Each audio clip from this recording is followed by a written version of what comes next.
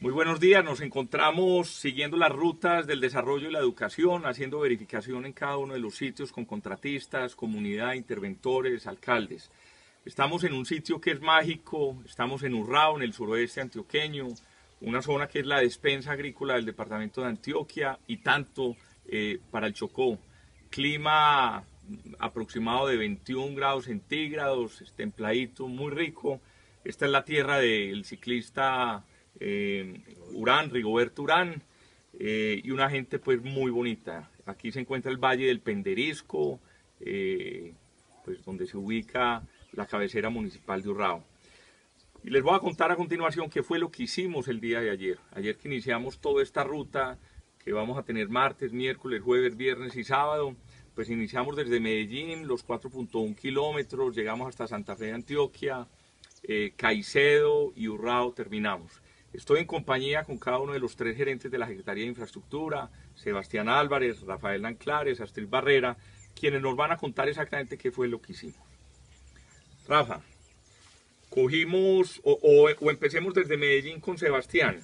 Arrancamos verificando los 4.1 kilómetros en la salida del área metropolitana. ¿Qué encontramos allí? Sí, señor. Eh, de manera breve, eh, pues hicimos un recorrido de obra con los contratistas, los interventores, estuvimos verificando el avance de la obra, eh, garantizando y buscando obviamente que podamos cumplir nuestro cronograma de tener esa doble calzada habilitada para octubre del 2015 o antes de ser posible.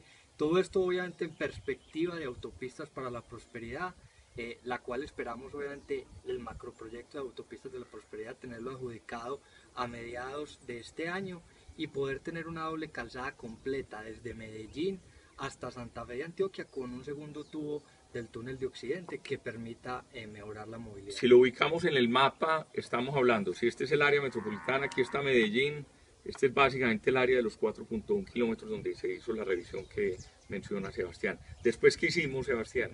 Nos venimos recorriendo la conexión vial, la vía eh, entre Medellín, eh, San Jerónimo, Santa Fe de Antioquia, y miramos pues cómo estamos haciendo una serie de intervenciones de mantenimiento para tener esa vía en muy buenas condiciones y facilitarle de alguna manera la entrega de esta vía a autopistas para la prosperidad de manera que podamos garantizar una doble calzada en muy buenas condiciones eh, que permita tener una salida en doble calzada desde Medellín hasta Santa Fe Antioquia. ¿Cuándo debemos estar adjudicando los tramos que competen digamos a este a este sector de Occidente eh, para autopistas de la prosperidad. Ese corredor básicamente es Mar 1, después sigue una obra pública que es la obra pública del túnel del Toyo y después Mar 2 que nos permitiría enlazar con la concesión de transversal de las Américas en el Tigre, en Urabá.